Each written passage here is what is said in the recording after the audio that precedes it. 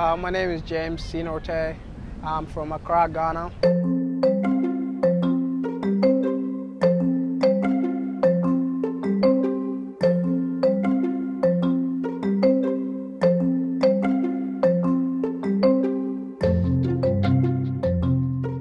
I left Right to Dream 2007 and you know ever since then I went to Hotchkiss for four years um, where it was it was a great four years there and then from there I came to Marquette University and this is my fourth year at Marquette University.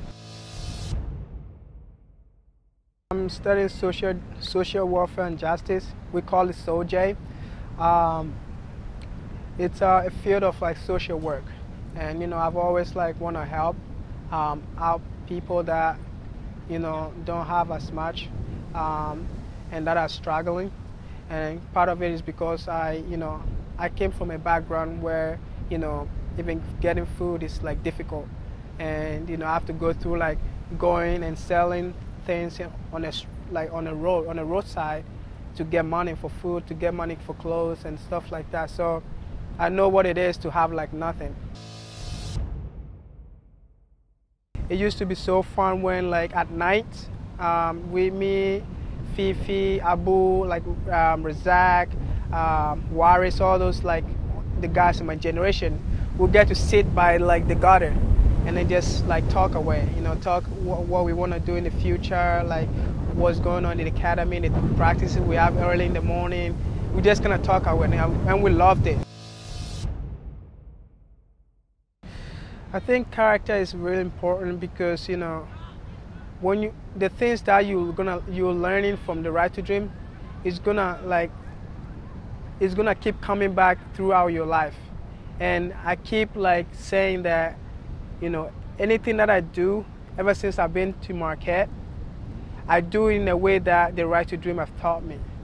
So even answering question you know talking to people um, going to practice, doing my schoolwork, all these things, I do it in a way that I've learned from the right to dream.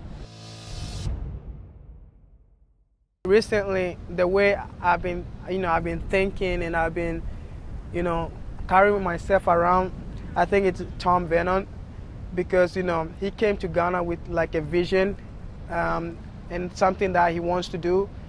And it took me a long time to, to figure it out, to, to get it going. But I think that his vision is like now here.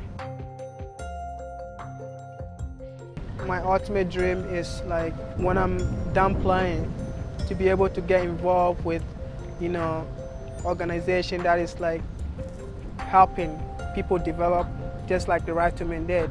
But that's my ultimate goal to like give to people that don't have the opportunity to develop themselves to their full, full potential. And that's the mojo of the right to dream.